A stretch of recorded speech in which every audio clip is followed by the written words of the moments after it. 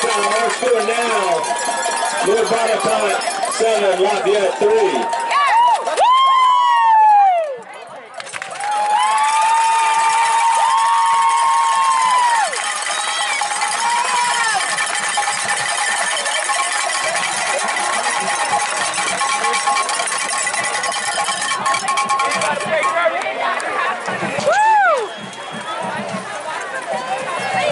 Wait, why is our score not?